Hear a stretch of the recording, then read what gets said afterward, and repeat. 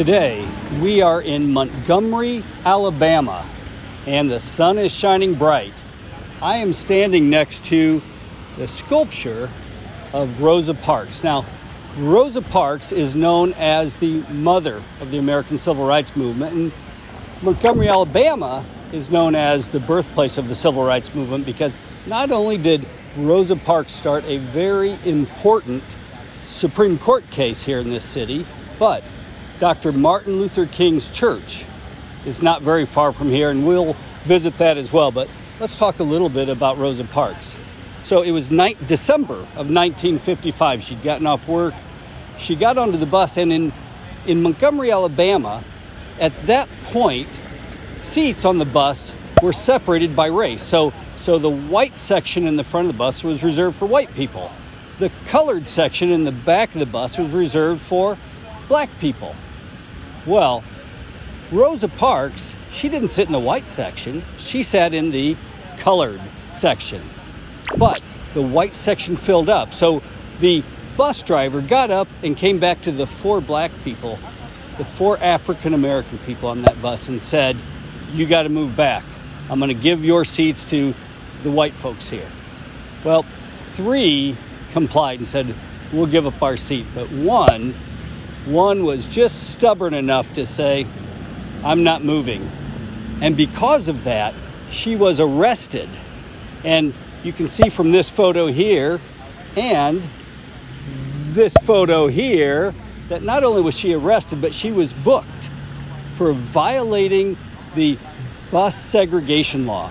Well, that's when Martin Luther King stepped in, and we're going to finish our story two blocks from here where this whole event went down.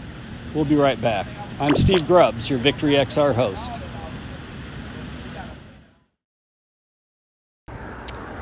So now, right over here is the Rosa Parks Museum.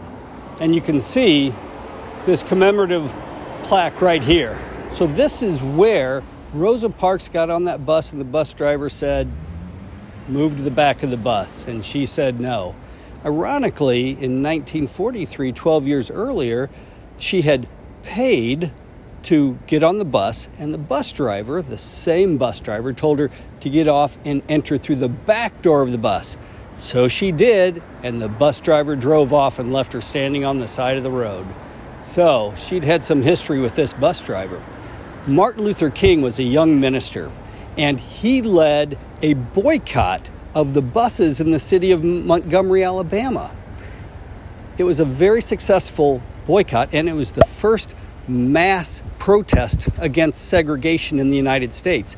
That boycott continued until the United States Supreme Court ruled in November of 1956. Now remember, it occurred December of 1955. 11 months later, the US Supreme Court ruled that that busing segregation was a violation of the Equal Protection Clause in the United States Constitution.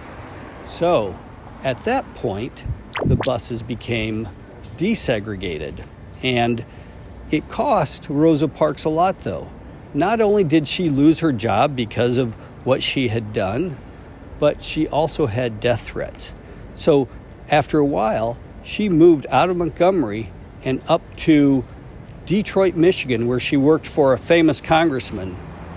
Rosa Parks was commemorated by the United States Congress as the first woman to lie in state in the U.S. House, which is a, a big honor. Let's head over and take a look at Martin Luther King's church and uh, wrap up this tour of Montgomery, Alabama. Okay, we're at a very exciting place now. We're still in Montgomery, Alabama, but this is the church that the Rev- Reverend Martin Luther King, also the Dr. Martin Luther King, was the pastor of from 1954 to 1960.